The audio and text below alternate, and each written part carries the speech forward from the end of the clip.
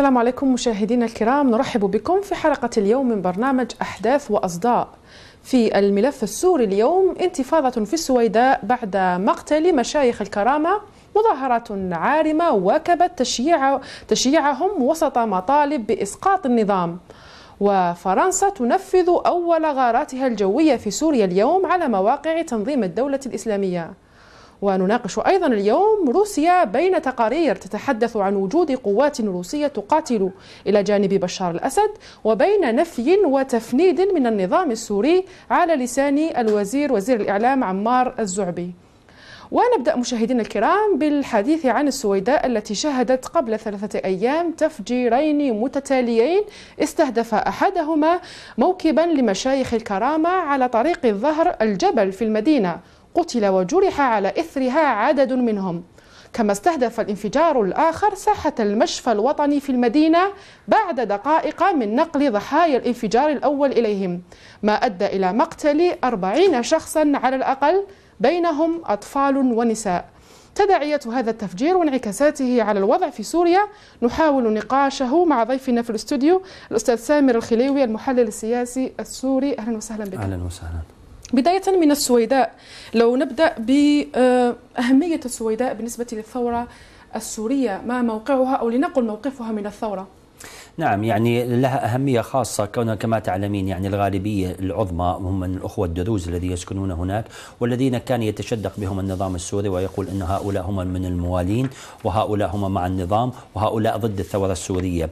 أيضا موقعها الهام جدا يعني قرب دمشق ومحاذاتها لدرعا وكما نعلم أن حاول النظام أن يخلق فتنة ما بين أهل درعا وأهل السويداء ولكن الأهالي في السويداء ودرعا أفشلوا ذلك المخطط. أيضا بالنسبة للسويداء كما نعلم أن هناك لها امتداد أيضا في لبنان وهو الكل يعلم تداعياته أيضا بلبنان وليد جنبلاط الزعيم الدرزي الأبرز في لبنان والذي يقف دائما ضد النظام السوري ومع الثورة السورية. وهناك بعض الأبواق السورية مثل وآم وهاب وطلال أرسلان وغيرهم هؤلاء من الدروز الموالين لنظام بشار الأسد. المهم في السويداء أنه قبل عملية اغتيال الشيخ وحيد البلعوس كانت هناك مظاهرات في داخل السويداء ضد لتطالب بإقالة المحافظ وتحسين الخدمات على مدى يومين. والذي زاد من الأمور سوءا عندما أعلن الشيخ وحيد البلعوس وهذا كان موثق وبث يوم أمس وقبل أمس في تسجيل مصور وقال أن رسالة وصلتني من علي مملوك رئيس المخابرات السورية والذي هدد الشيخ وحيد البلعوس لأنه كان دائما ضد نظام بشار الأسد. وأيضا هو من دعا أهالي السويداء لعدم الالتحاق بالجيش السوري وعدم قتل أبناء الشعب السوري. من هنا هي لها أهمية خاصة كون أن النظام يتشدق ويقول أنه هو حامل أقليات وأن الدروز موالين له ولكنهم الآن ينتفضون ويقولون أن بشار الأسد ونظام بشار الأسد مجرم ولا يستثني أحد من أي طائفة كانت وهذه الكذبة قد سقطت. والأهم من ذلك أن كل من يعارض بشار الأسد بغض النظر عن طائفته أو قوميته سوف يلقى حسابه. وكما فعلها النظام بشار الأسد من قبل مع الكثير من الزعماء الآن هو يعيد الكرة مع الشيخ وحيد البلعوس وكما تعلمين هو من شيوخ الكرامة الذين انتفضوا ولا يزالون منتفضين ضد نظام بشار الأسد ليقولوا له أن الدروز خط أحمر وما فعلته. أنت من قبل مع الآخرين لن تستطيع أن تفعله. معنا مرة ثانية. نتحول إلى محمد السباعي المسؤول في مركز حمص للإعلام. أهلا وسهلا بك الأستاذ محمد. تحدثنا من حمص مباشرة وكما كان يشير ضيفي يعني مطالب أهالي السويداء كانت إقالة المحافظ وإذا بها الآن ترتفع اللافتات بإسقاط النظام. كيف يمكن أن نجمل الوضع في السويداء الآن؟ بداية مساء الخير لك ولجميع المستمعين والمشاهدين الكرام. طبعا النظام السوري حاول أن يشعل فتنة بين أهالي السويداء وأبناء سوريا، لكن الفتنة الذي أراد النظام أن يشعلها هي كانت ورقة فاشلة بيده، كانت آخر المحاولات التي أراد النظام أن يبدأ بالمشاكل بين السويداء وأبناء سوريا هي شيخ البلعوس الذي استشهد خلال الساعات الماضية طبعا النظام فشل بجميع الأوراق لديه أن يشغل الخناق أو يشكل مشاكل بين السوريين وأبناء السويداء بالتحديد. نعم. لكن هناك شيء بالأمس تشييع الجنازة للشيخ البلعوس كانت ربما رافقتها آه، إقفال للمحلات رافقتها آه، ما شابه انتفاضة كما وصفت. حملت شعارات إسقاط النظام. ماذا يمثل كل هذا بالنسبة للثورة السورية عموما؟ آه، طبعا السويداء منذ كما ذكرت منذ الأيام الماضية أعلنت منطقة محررة بشكل نعم. كامل من عصابات النظام. البداية الاولى التي انتفضت بها هي تشييع الشهيد البلعوث طبعا هنا كانت الانتفاضات الأولى لمدينة السويداء التي خرجت بشكل كامل عن سيطرة قوات النظام المتواجدة في تلك المنطقة. طيب وماذا عن قطع الإنترنت؟ هل ما زال متواصلا الحديث على أنه تزامن مع هذه الأحداث قام النظام بقطع الإنترنت، هل هذا ما زال مستمرا؟ طبعا النظام السوري كما عهدناه في بداية الثورة السورية كان يقطع جميع أنواع الاتصالات سواء كانت بشبكة الإنترنت أو شبكة الاتصال نعم. الأرضية أو أو الخليويه، هذا ليس بالشيء الجديد للنظام السوري، هذا هو شيء قديم. النظام يحاول أن يضغط على أبناء السويداء يحاول أن يرجعهم في ثورتهم لكن الثورة ما زالت مستمرة وانطلقت السويداء بركب الثورة السورية مع مدينة حمص وحلب ودمشق وبقية المناطق الثائرة ضد هذا النظام. طيب حسب تقديرك وأنت ربما الذي تراقب عن قرب الوضع هناك ماذا تتوقع من أهالي السويداء؟ يعني هل ستستمر انتفاضتهم هاته؟ يعني ردهم على مقتل الشيخ البلعوس كيف تتوقع يكون يعني؟ طبعا أبناء السويداء خرجوا في ثورتهم ضد هذا النظام. أنا أعتقد أن الثورة ستمشي في سياقها ضد هذا النظام. لا انسحاب بالتأكيد كمثل حماة وحمص وريف دمشق الآن يتعرض جميع المدن السورية للقصف ولكن هم ما زالوا ماضون بثورتهم. ما زالت ما زلنا نرفع شعارنا النظام هو الذي سيرحل وسوريا هي التي ستعيش بأمان إن سقط طيب. هذا النظام. أرجو أن تبقى معنا. لا محالة. أرجو أن تبقى معنا محمد سباعي آه، وأتحول في غضون ذلك لضيفي هنا في الاستوديو. يعني الحديث عن السويداء انتفاضة السويداء يعني آه، الحديث عن تحطيم تمثال آه، حافظ الأسد. يعني انتفاضة السويداء وسابقا كان النظام يسوق على أن السويداء هي في صفه وسبق لأهالي السويداء أن قاتلوا لجانب النظام جبهة النصرة لما اجتاحت السويداء. يعني هذا ربما ماذا يمثل؟ أي تحول في الثورة السورية برأيك؟ يعني كما قلت في البداية هذا دليل آخر على أن النظام كاذب. الذي يدعي حماية نعم. الأقليات وأن الدروز هم يقفون بصف بشار الأسد. يعني نتمنى أن تستمر الانتفاضة وأن كنت لا أتوقع ذلك لأن كانت بعض المطالب هي مطالب خدمية بالبداية. نعم. ثم ارتقت إلى آه، مطالبة بإسقاط النظام. ولا قد تكون ردة فعل محدودة بعد اغتيال الشيخ وحيد البلعوس وشيوخ آه، آخرين. ولكنها بالمحصلة النظام السوري سيسعى بشتى الوسائل لإفشال تلك الانتفاضة. إن وصلت إلى مرحلة الانتفاضة الكل يعلم أنه الآن يهدد بداعش وأن داعش على الأبواب سوف تقتحم السويدة وسيدخل من أبواب أخرى وقد يستجيب أيضا لبعض المطالب مثل إقالة المحافظ وإقالة رئيس الفرع الأمن العسكري وفيق ناصر من من المحافظة ليمتص تلك الغضبة. من هنا يكون سيكون الفارق إن كانت هي الثورة آه، ضد نظام بشار الأسد للالتحاق بالثورة السورية وإن كانت متأخرة قليلا ولكنها أو أن ستكون هي ضمن مطالب محددة طالب بها أهالي السويداء نتمنى أن يكونوا يعني آه، أكثر وعيا وانضماما للثورة السورية لتعرية بشار الأسد. الآن هو بعد تلك المظاهرات التي طالبت بإسقاطه هو يتعرى أمام الجميع الذين يدعون أنه حامل أقليات وأن الدروز هم موالين له إضافة إلى أن هناك سيكون تأثير إن استمرت لأن كما تعلمين هناك الكثير من الضباط من الدروز الذين يشاركون ضد الثورة السورية. وعلى رأسهم المجرم العميد عصام زهر الدين القائد بالحرس الجمهوري الذي ارتكب المجازر في محافظة دير الزور ومحافظة الحسكة وريف دمشق وحمص فهو من كبار القادة الذي يعتمد عليهم بشار الأسد من الدروز طيب كيف يمكن للثوار بصفة عامة يعني جيش الفتح وباقي الثوار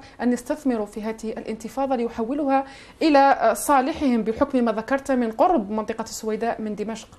يعني اهالي يعني الثوار على الأرض بعثوا الكثير من الرسائل انه لا يوجد عداء ما بيننا وبين الأخوة الدروز أو بين الدرعا والسويداء ولكن النظام حاول من يفتعل ذلك عندما اقترب الثوار كما هو معلوم من مطار الثعلة وأرادوا السيطرة عليه قام النظام بتجنيد العديد من أهالي السويداء وقال لهم أن جبهة النصرة وداعش سوف يرتكبون المجازر الثوار على الأرض قالوا ليس لدينا أي عداء مع أهالي السويداء ولكننا من تلك المناطق تنطلق الصواريخ والقذائف التي يقوم بها النظام بشار الأسد ونريد أن إيقاف تلك القذائف وهذا الدمار الذي ينتقل من تلك المنطقة وعداؤنا نحن ضد بشار الأسد. هذه الرسائل أطلقها الكثير من الثوار وأعلنوها على كافة المستويات أنه لا يعد ما بيننا وبينكم ولكن العداء مع نظام بشار الأسد. الكل يعلم أن هناك جرت محاولات عديدة وتم إفشالها من قبل النظام. كما نعلم كان هناك أيضا عملية اختطاف من قبل النظام السوري مخابرات النظام السوري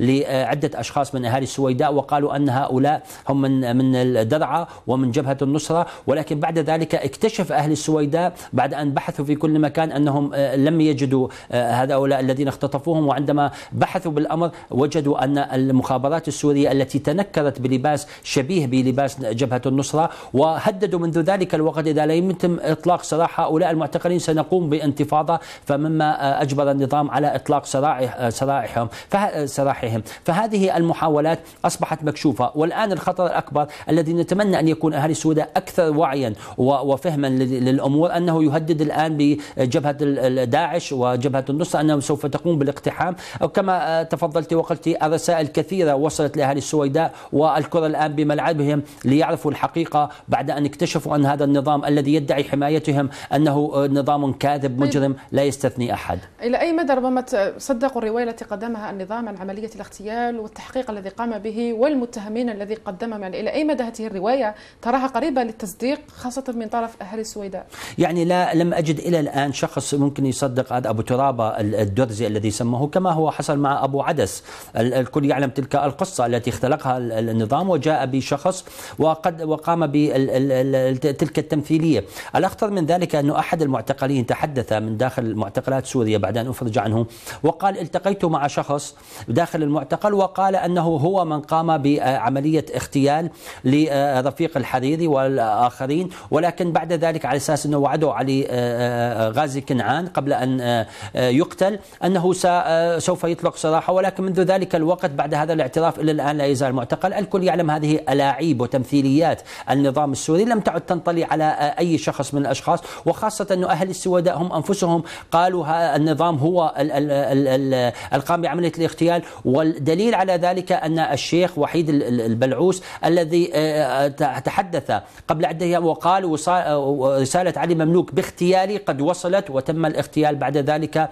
وهذا دليل آخر للأخوة الدروز وأهالي السويداء أن هذا النظام لا يستثني أحد يستهدف كل من يقف بوجهه ويرفض الانصياع بركب بشار الأسد. من هنا أهالي السويداء أعتقد أنهم أصبحت الصورة واضحة جدا لديهم ونتمنى أن تستمر ثورتهم وانتفاضتهم ليتعرض نظام بشار الأسد ويقترب سقوط أتحول ربما في الملف السوري نقطة هامة جدا ربما أو مستجد في الثورة السورية اليوم. أول غارة تشنها فرنسا على الأراضي السورية ضد تنظيم الدولة الإسلامية. المشاهد لعله يتساءل لماذا تأخر مشاركة فرنسا في التحالف على سوريا بالتحديد؟ هي الآن تشارك فقط في العراق.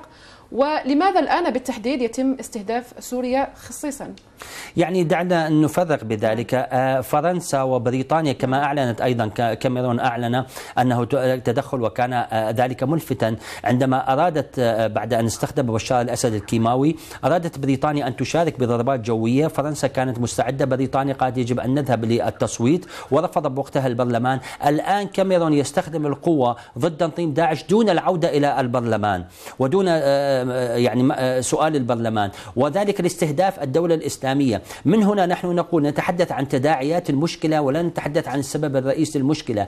داعش يمكن القضاء عليها ولكن بشار الأسد هو السبب الرئيسي لوجود داعش وغير داعش. كيف يراد من الشعب السوري أن يقاتل داعش ويترك نظام بشار الأسد؟ وهنا مكمن الخطورة. عندما تحدثت الولايات المتحدة بكل صراحة وحتى الأفراد المعارضة الذين قاموا قامت بتسليحهم ورفضوا مقاتلة فقط فقط داعش. قالوا يجب أن نقاتل بشار الأسد وداعش. الآن الغرب كله يجمع على مقاتلة الدولة الإسلامية وترك بشار الأسد وهذا سيكون مكسب لبشار الأسد. فهذه الضربات أنا باعتقادي أنها لن تفيد كثيرا ولن تقدم ولن تؤخر خاصة أننا نعلم أن الولايات المتحدة وباقي الدول الغربية والدول العربية التي شاركت بالتحالف والقصف في في سوريا لم تجزي نفعا طالما ليس هناك قوات على الأرض وليس هناك دعم من الأهالي بسوريا لقتال طيب. تنظيم الدولة فقط دون قتال طيب لنستمع وجهة نظر الأستاذ شريف شحاتة المحلل السياسي ينضم إلينا مباشرة من دمشق. أهلا وسهلا بك الأستاذ شريف. وبداية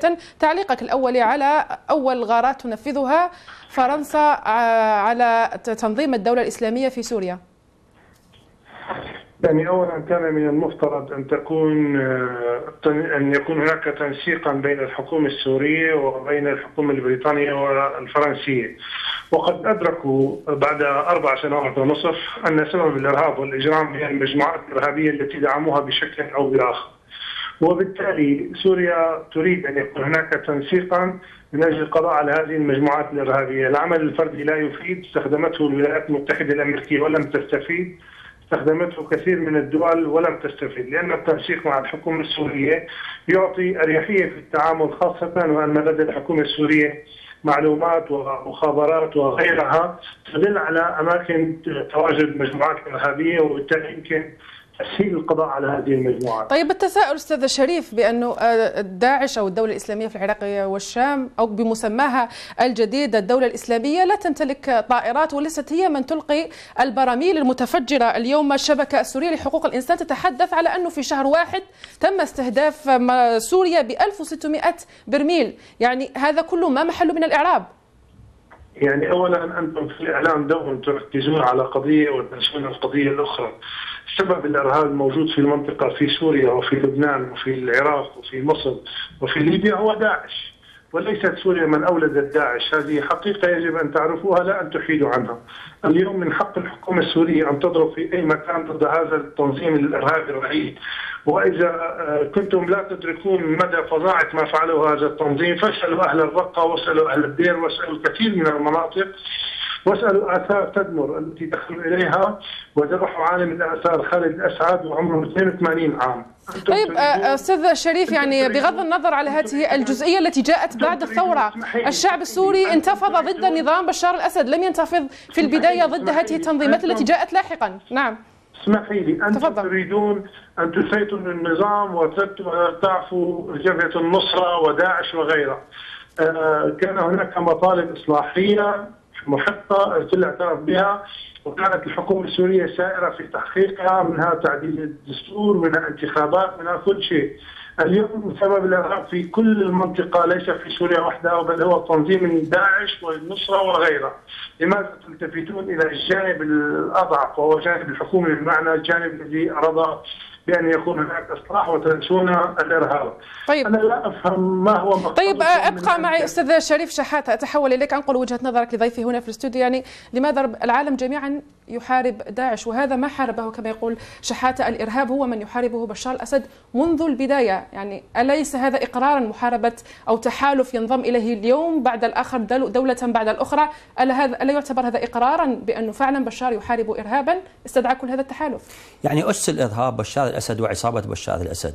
لمن لا يعلم لا توجد بسوريا دولة مؤسسات وحكم ديمقراطي. من يحكم بسوريا عصابة الأسد وعائلة الأسد هم من يحكم سوريا هم من يتحكمون بكل شيء.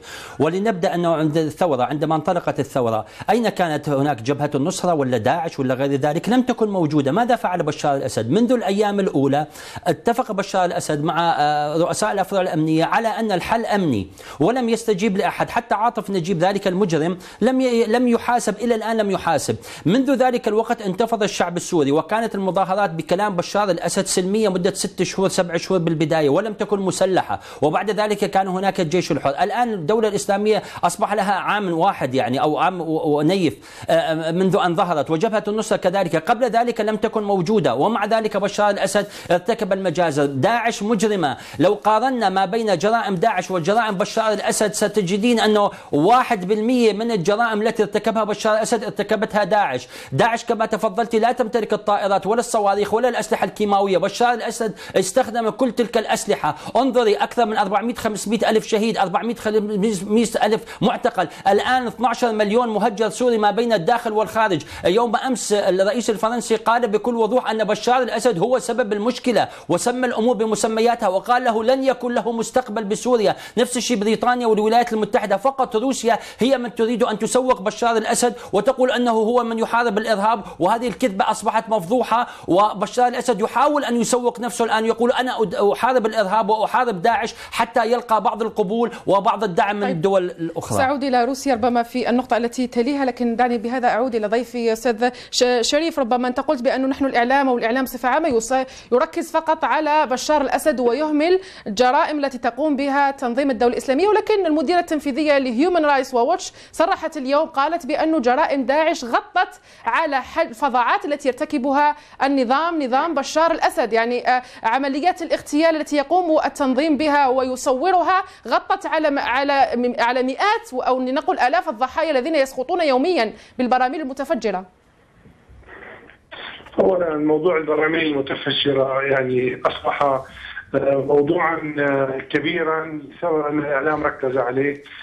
اولا هناك أسلحة في العالم تستعمل ضد هذه المجموعات في مصر وسوريا، لماذا لا تتحدثين عن مصر عندما تقوم الطائرات المصرية بقصف مواقع الإرهابيين في سيناء بالبراميل وبالصواريخ وباشنع من ذلك، لماذا تصرون على سوريا؟ نحن نتحدث على ذلك عندما نتطرق إلى مصر تلك البراميل ألا يشاهد العالم من هو المستهدف بتلك البراميل؟ طيب أليس هؤلاء الأطفال؟ طيب أليس هؤلاء النساء؟ تفضل تفضل أستاذ شريف المستهدف هو المجموعات الإرهابية لا علاقة لنا لا بالنساء ولا بالرجال لأن الخصم بالنسبة للحكومة السورية هو هذه المجموعات وليس البشر. طيب بهذه برواية النظام أنه يحارب الإرهاب وكل هذه البراميل وكل هذه التفجيرات تستهدف هؤلاء الإرهابيين. برأيك أنت لماذا لم ينجح إذا النظام إلى الآن في في القضاء على هذه هؤلاء أو الجماعات الإرهابية الموجودة والثورة السورية تدخل عامها الخامس؟ نعم هذا سؤال جيد. طالما أن هناك من يورد لنا الإرهاب من السعودية ومن قطر ومن الشيشان ومن أفغانستان ومن تونس ومن ليبيا من الطبيعي أن لا ينتهي الإرهاب، آلاف مؤلفة تأتي كل يوم إلى الحدود السورية التركية تسمح لهم الحكومة التركية بالدخول وبالتالي لا يستطيع القضاء، هل استطاعت الولايات المتحدة الأمريكية أن تقضي على طالبان في أفغانستان؟ وعلى القاعدة رغم قوتها وهي دولة عظمى؟ أقول لك بصراحة مشكلة سوريا أنها تتعامل مع العرب وهذا مؤسف يعني حقيقة لأن من يصدر الإرهاب اليوم هذه الدول التعيسة التي لا تحترم لا حقوق الإنسان وغيرها ثم يأتون ليتباكوا على السوريين تحت عنوان براميل متفجرة وتحت عنوان لاجئين وتحت عنوان كل شيء وهم من سببوا المأساة والأزمة في سوريا. طيب طيب تحدثت على الذين الذين يدخلون إلى سوريا من من دول مختلفة ويسببون الإرهاب داخل سوريا، سأعود إلى نقطة أخرى ربما تصب في هذا الصدد، أرجو فقط أن تبقى معي أعود إلى ضيفي هنا في الاستوديو نتحول إلى روسيا.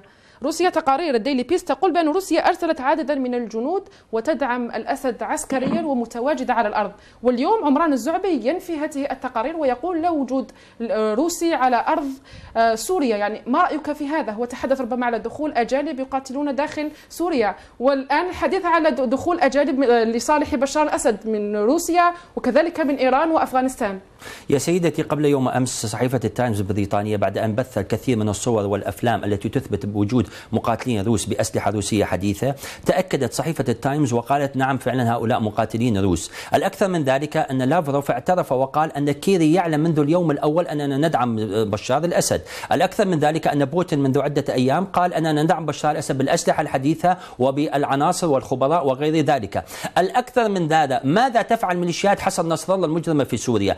ألم يرى العالم ماذا يفعلون ويرتكبون من مجازر؟ ماذا تفعل الميليشيات الطائفية الشيعية؟ ألم يرى العالم الأفغان الذين تم أسرهم بسوريا والإيرانيين الذين يقاتلون مع بشار الأسد؟ كل هؤلاء ملائكة ذهبوا لسوريا وفقط هو يدعي أن يقول لك المملكة السعودية وقطر تدعم بالأسلحة والإرهاب. أي إرهاب أكثر من إرهاب بشار الأسد؟ أي دمار هذا اللي دمر سوريا أكثر من بشار الأسد؟ هو يتحدث ويقول أين هو الدعم الحقيقي؟ هؤلاء هم يدعمون بشار الأسد. إيران تدخل بقوة والأكثر من ذلك ليس حديثنا. صحيفة البي بي سي وهي يعني ميالة الآن إلى نظام بشار الأسد وثقت منذ سنتين وبثت تقرير بالإنجليزي وبالعربي يوثق مشاركة الميليشيات الإيرانية بسوريا بحلب هي تدافع عن سوريا. هو يقول لك هي تدافع جاءت لتدافع عن سوريا.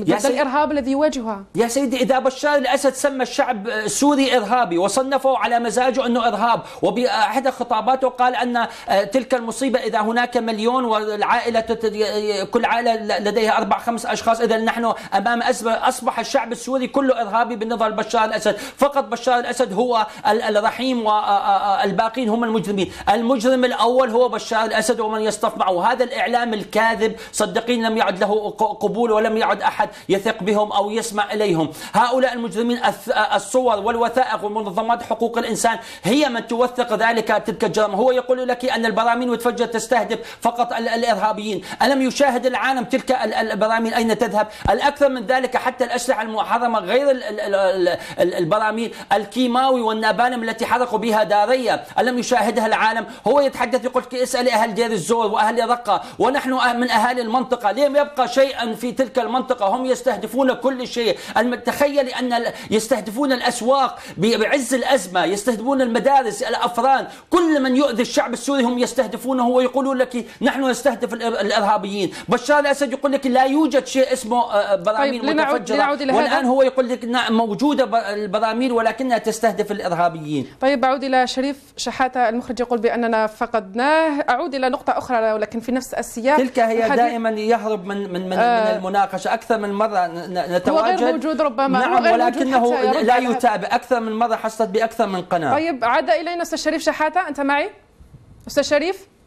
أنا لا أنا أقول لضيفك لا أهرب لكن الاتصال يفصل. من دائما يفصل الاتصال معك. من كلمة الحق طيب لنسمع ردك على هذه النقطة بالذات. هناك اتهامات هناك تقارير هناك الكثير من التقارير تتحدث على تواجد.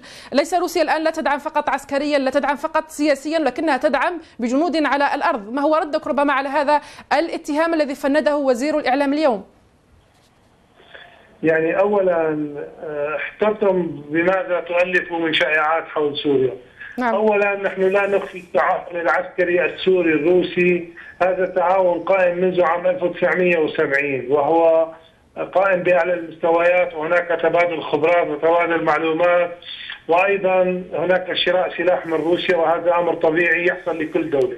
اليوم روسيا تمارس نفس الدور في آه، إعطاء سوريا الدولة أعطاها السلاح الذي يجب أن يكون موجودا ومتوفرا لمكافحة الإرهاب ولمحاربة هذه الآفة، وبالتالي نحن لا نخفي أن هناك علاقات عسكرية، طيب. ولا نخفي أن هناك خبراء يأتون إلى سوريا من أجل تعليم الجنود السوريين والضباط على موضوع السلاح. لكن ليس هناك من ضابط أو عسكري روسي يقاتل على الأرض السورية، ما يزال الجنود السوريون والحمد لله يقاتلون وما زال الشعب السوري فنحن لسنا بحاجة لجيش روسي، وعندما نكون بحاجة لجيش روسي لن نستأذن لا الولايات المتحدة الأمريكية ولا ضيفك ولا العرب. كما طلبوا العرب عام بالثمانينات عندما آه، غزا صدام حسين الكويت 33 دولة جمعتها السعودية من أجل أن تحارب صدام حسين. فلماذا مسموح للسعودية أن تأتي ب 33 دولة لحماية أرضها وممنوع على سوريا أن تأتي بدولة صديقة وحليفة أن تدافع طيب السؤال أستاذ شريف لو سمحت لي أن أقاطعك السؤال ربما ضيفي يقول لك لماذا تعيبون على المعارضة السورية أن تتلقى دعما خارجيا وأنتم تحصلون على دعم بل وميليشيات تأتي لتقاتل سواء من إيران من حزب الله من أفغانستان وحتى كما ذكرت الآن من روسيا؟ يعني لماذا تعيبون على الغير أن يتدخل في سوريا بينما أنتم تدعون الغير لأن يتدخلوا إلى جانبكم.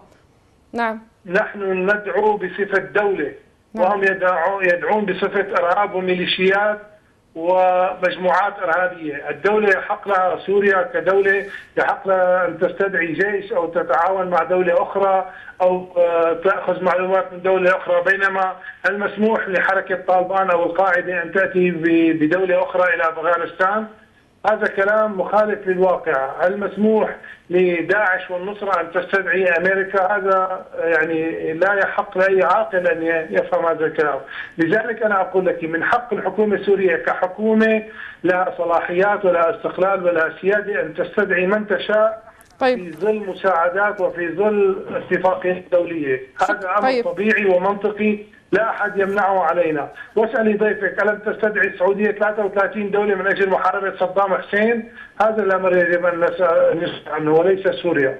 طيب شكرا جزيلا لك شريف شحات المحلل السياسي ولعلي أحول وجهة نظرك إلى ضيفي هنا في الاستوديو وأضيف عليها أيضا حديث آه، موسكو تدعو السعودية وأمريكا للعمل المشترك مع الأسد. ضد الإرهاب. يعني إلى أي مدى ترى دخول تنظيم الدولة الإسلامية والقاعده على الخط هو من ربما أربك المشهد وربما الرؤية الرؤية الآن غير واضحة بمن يتحالف مع من ضد من؟ يعني هذا ليس بجديد يعني الكل يعلم أن بشار الأسد هو السبب الرئيس. هذه محاولات من روسيا لتعويم نظام بشار الأسد وإعادة آه، تسويقه مرة ثانية وهذه المحاولات لم تتوقف.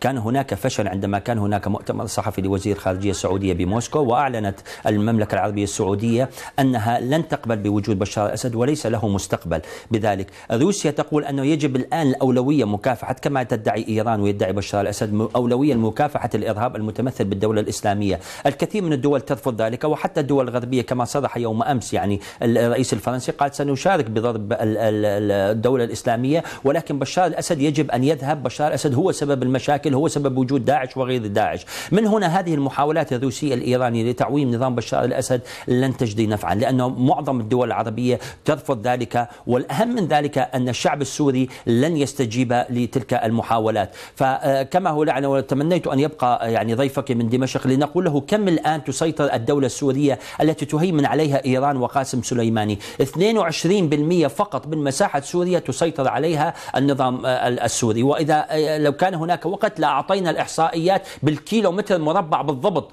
كم تسيطر. هي دولة وعندما تستدعي دعما خارجيا بصفتها دولة ولكن المعارضة يقول بصفة ماذا يقوم أو تحصل على دعم خارجي؟ ربما لو يا سيدتي الشعب السوري لم يكن يستدعي أي معارضة خارجية. الشعب السوري انتفض لوحده.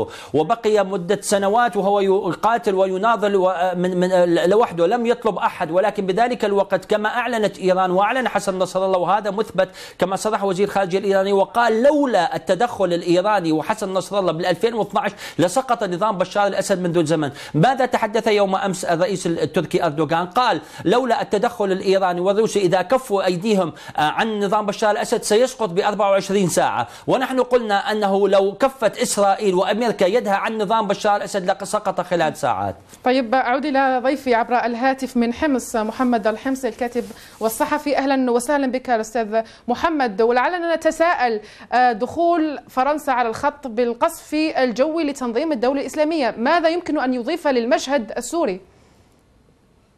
تحياتي لكم الأصدقاء المستمعين مساءكم بكل خير. حقيقة هذا الإضافة يعني حقيقة في نوعا ما يشل حركة شيئا بالاقتراب من المواقع النفطيه، نرى يعني منذ أيام تقدم التنظيم في أرياف حمص الشرقية وخصوصا عبر حقل البذل، هذا الحقل النفطي الكبير الذي يعني يعتبر من مفاصل النظام الحيوية في إنتاج النفط وتصديره إلى المنشآت الذي تقوم بتصنيع وتدوير الآليات، حقيقة هذا التقدم لتنظيم الدولة والتدخل العسكري من قبل فرنسا والدول التحالف يعني باتجاه وسيله حمص الجوية أو عبر مناطق أرياف شمال سوريا عفوا في الشمال السوري. يلقي نكهه أخرى للمعارك، حقيقة التنظيم الآن يحاول اللعب على وتر يعني تلميع صورته بالحرب التي يعني المناطق التي تسيطر أيام آه، التنظيم كيف يعطي شهادات للمسيحيين ويقول أنهم في دينهم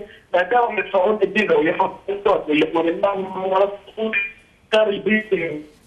قبل عشر شهور يعني توصي على المسيحيين في في صورة فقط لتلميع آه، تلميع صورة الحملة الشعبية خصوصا في الصوت يبدو أنه يتقطع. يعني محمد الحمص يتمنى إعادة الاتصال به. وعذرا لهذا الخلل من المصدر. أعود لضيفي هنا في الاستوديو. آه، والرئيس الفرنسي طلب من وزير دفاعه جون إيف لودغيون أن يقوم بتحديد الإحداثيات وجمع بنك الأهداف ليقوم باستهداف هذا التنظيم في سوريا. ونحن نتحدث قبل قليل بأن القصف الجوي الذي كان يقوم به بشار الأسد كان يستهدف المدنيين. يعني ما المانع أن يستهدف هذا القصف المدنيين أيضا لا تنظيم الدولة الإسلامية خاصة ونحن نعلم أنه هذا التنظيم موجود في يمسك القرى ويمسك المدن ويديرها ويسيرها يعني ما المانع؟ يعني دعيني أن أكون واضحا أن ال- الذي سيتضرر أكثر هم أبناء تلك المنطقة، الكل يعلم أن أبناء المنطقة لا يزالون في الرقة وفي دير الزور وفي الحسكة وفي ريف حلب والتي تستهدفها طائرات التحالف وطائرات النظام. وهناك تناوب ما بين طائرات النظام والتحالف. وهناك إحصائيات أن الكثير من الأبرياء سقطوا نتيجة هذا القصف ال- ال- ال- ال- الجوي من قبل قوات التحالف ومن قبل قوات نظام بشار الأسد، الكلاهما شريك بقتل الشعب السوري، لو أرادوا التخلص من من داعش فهذه ليست بال- بالمشكلة ال- ال- ال- الصعبة، وكما دعت تركيا وقالت نحن مستعدين أن ندخل الحرب ضد آه، داعش ونسلح المعارضة وندخل بقوة بشرط محاربة آه، تنظيم الدولة ونظام بشار الأسد وإقامة منطقة آمنة، ولكن الولايات المتحدة ترفض ذلك. ولو كانت تم إقامة تلك المنطقة الآمنة لما شاهدنا كل هؤلاء ال- ال- المئات الآلاف من السوريين الذين تهججوا بالملايين أصبحوا بك- بكافة دول العالم، ولكنهم يرفضون ذلك، يريدوا فقط أن يستهدفوها. وكما قلنا بالبداية طالما ليس هناك قوات برية على الأرض ولا يوجد هناك دعم آه، من قبل الأرض لن يستطيعوا بذلك، الأكثر من ذلك أن داع- داعش الآن يستفيد من تلك الضربات وليقول لهم أن أنا حاميكم وانظروا هذا الغرب الكاذب الذي يدعم بشار طيب. الأسد لأنه كما تعلمين لا توجد الآن هناك قوات فصل ما بينهما، أي تراجع لداعش يتقدم به بشار الأسد. طيب آه، أعود إلى محمد سباعي، محمد سباعي يعني كيف يبدو لك المشهد من الداخل يعني آه، آه، السوريون كيف ينظرون لهذا التحالف الدولي ضد تنظيم الدولة الإسلامية؟ هل فعلا هذا التحالف يستهدف فقط مواقع هذا التنظيم وأهدافه دقيقة أم أن هناك مخاوف من أن يستهدف المدنيون أيضا؟ آه، طبعا آه، يوجد مخاوف آه، كثيرة بين يوجد مخاوف آه، كثيرة للمدنيين الموجودين على المناطق التي تسيطر عليها آه، قوات آه، الدولة الإسلامية لأنها هي تسيطر مكان بين المدنيين. هي- لا تسيطر بمكان فارغ من الأهالي أو فارغ من المدنيين. هو مكان آه، يوجد يوجد آه، مدنيين به يوجد أهالي يوجد جميع الفصائل ال- الغير تابعة لعناصر تنظيم الدولة. ها هي المخاوف التي يسببها قصف التنظيم آه، يسببها عفوا قصف آه، التحالف الدولي لسوريا. آه طيب أتحول إلى أسامة أبو زيد آه أيضا الإعلامي من مدينة حمص من سوريا. أستاذ أسامة أبو زيد يعني بعد الترحيب بك المشهد ربما يوما بعد يوم في سوريا يزداد تعقيدا والأطراف ال- التي تشارك أو تداخل الأطراف التي آه موجودة الآن على الساحة السورية. كيف يعكس هذا بالنسبة للمواطنين في سوريا؟ أسامة؟ عين؟ سم- تسمعين أختي الكريمة. نعم أسمعك تفضل. نعم السلام عليكم ورحمة الله وتحية لكم وللسادة المتابعين. اولا أريد أن أنوه إلى أن حالة المدنيين باءت تسوء جدا جدا جدا. فخمسه سنين من الحصار والقصف والدمار آه، لم يبقى هناك منزل داخل الأراضي السورية إلا ودمر. لم يبقى هناك عائلة. هناك شهيد وهنا آه، طفل فقد عضوا وهنا عائلة آه، فقدت آه، معيلها بسبب اعتقال أو بسبب فقدان آه، أو اختفاء أو خطف. حال الوضع في داخل الأراضي السورية سيء جدا للغاية. آه، أريد أن أنوه إلى معلومة آه، آه، وهي أن ال- آه، الدول الأوروبية والأمم المتحدة هي تعد سببا اساسيا في هذا الوضع الذي بات يسوء يوما بعد يوم. السبب هو أن ال- الخذلان وال وعدم وعدم أخذ الاعتبار لحال المدنيين هذا يؤثر سلبا دائما على على الناس. أصبحنا نسأل الناس ما ما هو موقفكم تجاه الأمم المتحدة؟ قالوا هي فقط واجهة. هي فقط آه، آه، آه، جهة جهة مسيسة. لا تتبع لا لا لا, تتحكم ابدا بالظروف ال- التي تحيط بالمنطقة. هي ترى بعينها ما يحدث وتراقب ولا تستطيع أن تؤثر بأي شيء على الأرض. دعني أنقل وجهة نظرك أستاذ آه، محمد. دعني أنظر انقل وجهة نظرك ثم أعود إليك أو عفوا أسامة. أنقلها لضيفي هنا في الاستوديو. يبدو هناك حالة من عدم الثقة أصبحت لدى السوريين في هذه المؤسسات الدولية في دول الغرب التي أظهرت في بداية الثورة الصداقة وأظهرت بأنها تقف مع الشعب السوري وخياراته. لكن الآن يبدو أنها تخلت عن الشعب السوري. الفرقة الثلاثين التي دربت امريكيا قيل لها أن تحارب الدولة الإسلامية لكن ليس بشار الأسد. يعني هذا الاستثناء لبشار الأسد. يعني ماذا يدلل يعني وهل فعلا يبرر حالة التململ من هذه المنظمات ومن الغرب الذي لا يقوم بدوره تجاه الشعب؟ يعني دعني أكون واضحا إنه آه، هذه الدول التي تدعي أنها تساعد الدول الشعب السوري هي دول كاذبة يعني هم 137 دولة اعترفت إنه بالائتلاف والمعارضة ممثل شرعي للشعب السوري ولكنها لم تقدم شيء والنظام السوري لديه أربعة دول تقدم له المساعدات أفضل من 137 دولة تدعي أنها تساعد الشعب السوري. الخذلان ليس فقط من الغريب بل من أيضا من القريب الذين خذلوا الشعب السوري. انظر الآن المأساة من هو السبب الرئيس بالمأساة؟ هل من المعقول أن يتهجر 12 مليون مواطن سوري في سبيل أن لا يهجر بشار الأسد لوحده؟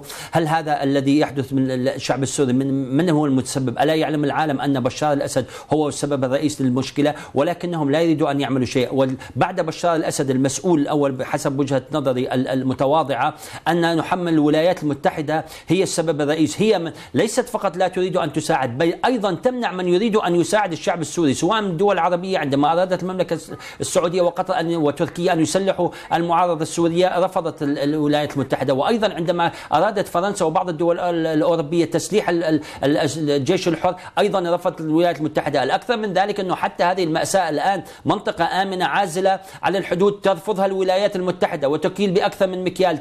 تبقي بشار الأسد وهي كما تحدثت تمنع سقوط بشار الأسد عسكريا. وقالت أن الحل سياسي. الأكثر من ذلك أنها على الجهة الأخرى هي تدعم الأكراد وتؤمن لهم منطقة آمنة عازلة وحتى تكون خاصرة بصفحة يعني تركيا حتى آه، يكون هناك إزعاج لها وتقدم لها الدعم. وحتى يعني ما تدعيه من محاربة الدولة الإسلامية هي فقط تقصف المناطق التي تشتبك بها مع الأكراد. وأما انظري في المناطق الأخرى التي يشتبك بها الثوار على الأرض مع الدولة الإسلامية لم تقدم لهم أي دعم يذكر. وحتى الفرقة 30 التي هي عدد عناصرها 54 عنصر بعد أن كانوا 60 وانشقوا منهم ستة. ورفض الغالبية العظمى من من هؤلاء المقاتلين الاستمرار لأن الولايات المتحدة خذلتهم مرة ثانية بعد أن وقعت مع تركيا على أن يكون القتال ضد بشار الأسد وضد وضد الدولة الإسلامية. ولكن بعد ذلك قالت لهم بالحرف الواحد القتال فقط للدولة الإسلامية ولن نسمح بقتال بشار الأسد مما دعا الكثير منهم إلى الانسحاب ولم يبقى سوى 54 عنصر من هؤلاء طيب أعود إلى سامر وعفوا أعود إلى محمد السباعي محمد السباعي لعلك ما زلت معنا اليوم. يتم الحديث عن عاصفة رملية تجتاح أجزاء من سوريا والمفروض عادة هذه العواصف الرملية تلقى استياء من طرف السكان لكن على العكس من ذلك هم سعيدون بها يقولون بأنها حجبت التحال أو عفوا حجبت طيران بشار الأسد عن قصفهم يعني كيف تنقل لنا تلك الأجواء من هناك؟ نعم العاصفة الجوية التي اجتاحت سوريا بأكملها ونشرت غبارها زادت مأساة الأهالي الموجودين في بعض المناطق المحاصرة لأنها تعاني هذه نعم. الأهالي آه، قبل آه، العاصفة الجوية التي أتت إليهم كانت تعاني من نقص حاد بالأدوية والمعدات الطبية ولكن أيضا جاءت أيضا هذه العاصفة بحال جيد على أنها أتت على حظر جواني رباني للمناطق التي تتعرض للقصف الطيران الحربي بشكل يومي الذي لا يفرق بين المدنيين أو العسكريين، هذا الطيران يقوم باستهداف سوريا بأكملها، لا يميز بين المدنيين أو أو عسكري، هذا طيران هدفه هو تدمير سوريا، هدفه سياسه أرض محروقة داخل الأراضي السورية أو المناطق التي تم تحريرها من يد الثوار. طيب شكرا جزيلا لك محمد إسباعي آه، مسؤول في مركز حمص للإعلام. نشكرك جزيل الشكر. كنت معنا مباشرة من مدينة حمص السورية. أتحول إلى أسامة في النهاية. أسامة أبو زيد أيضا الإعلامي. من هناك أستاذ أسامة يعني نتحدث عن الواقع السوري ربما وبهذه التفاصيل اليومية التي تزيد إلى المشهد السوري. نتحدث الآن ربما عن هذه الفرق التي يتم تدريبها امريكيا من أجل أن تحارب داخل الأراضي السورية. سوريا إلى أي مدى ترى بأن مهمتها قد تنجح؟ آه، أولا آه، موضوع آه، أن القوات الأمريكية تدرب فصيلا معينا نعم. للقتال داخل الأراضي السورية هذه نحن بنظرنا هي ف- ف- فكم عدد هؤلاء المقاتلين الذين يدربون الآن كم يبلغ عددهم على ما أعتقد أن وصل وصلني إحدى الإحصائيات أنه عددهم لا يتجاوز ال 75 مقاتل، هل 75 مقاتل قادرين على الدخول إلى الأراضي السورية وتحريرها من الإرهاب وتحريرها من جيش بشار الأسد بالإضافة إلى توطيد الأمن والأمان؟ هل هل هذه القوات التي التي نجعل لها تضخيما إعلاميا والتي تبلغ من العدد 75 سب- 75 مقاتلا هل هي قادرة على أن أن أن تفرض سيطرتها سيطرتها على أصغر على أصغر المناطق آه، ضمن الأراضي السورية؟ نحن في الداخل لا نعول لا نعول أي شيء آه، لا نعول أي أمل على على هذا على هذه القوات. يمكن أن تكون نموذجا نعول- يمكن أن يحتذى يمكن أن تكون فقط ربما نموذج مصغر وإن قل العدد احتمال أن يكون هذا النموذج صالحا وينجح ويكرر في مناطق أخرى. كلامك صحيح أختي الكريمه، كلامك صحيح، ولكن نموذج نموذج بأعداد صغيرة، هل يحتاج هل يحتاج التفكير آه، مدة ستة أشهر حتى اخذ أخذ قرار؟ حتى أخذ قرار ببدء التدريب وبعد أخذ القرار يأتينا القرار بأنه بعد ستة أشهر أخرى سيبدأ التدريب. هذه عملية مماطلة هذه عملية مراوغة فقط من أجل من أجل إعطاء النظام الوقت اللازم من أجل قمعة آه، قمع الث- الث- الثورة والجيش الحر. جزيلا لك آه، أسامة أبو زيد. واعذرني فقط لنهاية وقت البرنامج. نشكرك جزيل الشكر لمشاركتك معنا لأول مرة في برنامج أحداث وأصداء. وأعود في سؤال ختامي ربما لضيفي. يعني إذا قلنا بأنه التدريب فرقة هذا لا يجدي ولا ينفع وكذلك قصف التحالف آه، لا ينفع. روسيا ما زالت تقول بل بالعكس أكدت بأنها ما زال موقفها ثابتا من آه، من سوريا من نظام بشار الأسد. إذا ما هو الحل في الأفق؟ ماذا يمكن أن يفعل من أجل أن تحل الأزمة السورية؟ يعني طالما بقيت روسيا هي وإيران هي من ترعى الحلول فلن نتوصل إلى حي إلى أي حل لأنه على ما يبدو أن الولايات المتحدة تخلت تماما عن أي دور لها في سوريا من خلال حل سياسي أو عسكري كما تدعي يعني. وتركت ال- ال- الملعب للروس والإيرانيين والكل يعلم أنهم يعني الروس والإيرانيين يعني يصبون بمصلحة بشار الأسد وليس لمصلحة الشعب السوري. طالما بقيت الأمور بهذا الشكل. وكما تعلمين حتى مجلس الأمن هو مشلول وغير فعال طالما موجودة روسيا. طالما بقيت هذا فلن نجد أي أمل للحل ال- ال- السياسي أو العسكري من قبلهم. ولكن الأمل موجود بالله وبالشعب السوري الذي سينتصر ولن يتوقف حتى إسقاط نظام بشار الأسد. وحتى هذا التدخل الروسي الذي تروج له روسيا سوف ينهزم. كما انهزم الاتحاد السوفيتي بكامل عظمته وقوته في أفغانستان فالأفغان لن يكونوا أشجع آه، من من السوريين الذين. سيطردون كل هؤلاء الغزاة. شكرا جزيلا لك الاستاذ سامي الخليوي المحلل السياسي السوري. نشكرك جزيلا لتواجدك معنا وأشكركم أنتم أيضا مشاهدينا الكرام آه، لمشاهدتكم ومتابعتكم لنا في هذا النقاش حول الملف السوري. نلقاكم في ملفات جديدة. دمتم في رعاية الله وحفظه. والسلام عليكم ورحمة الله وبركاته. شكرا أستاذ.